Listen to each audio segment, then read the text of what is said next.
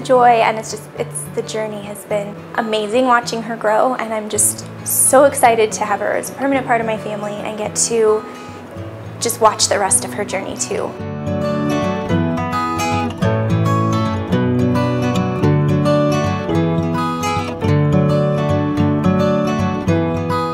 So she's um, the first child that I've adopted. I've fostered a couple of others um, kind of along the journey, hoping to adopt them as well.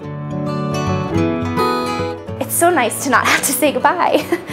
I was really glad for the other kids to get to where they needed to be, but it's so amazing to just know that she's staying and she's fine.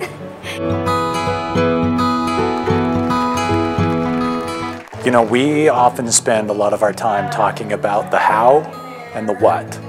And we don't spend nearly enough time talking about the why. Today is the why, or at least one example of why we do what we do. You know, being an adoptive and a foster child and and knowing what it was like from the child perspective to come in here and reinforce the parent perspective and to give them guidance and the knowledge that kids do take away everything from an adoptive parent. I want to give you a hand because you are why we're here and parents, especially you newly adopted parents, just remember, you make a difference all the time.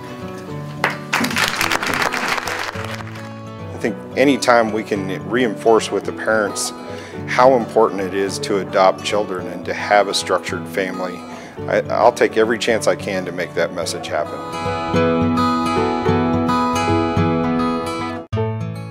I had um, friends that I knew that had started the process with Adams County as well, heard really good things about, about their program.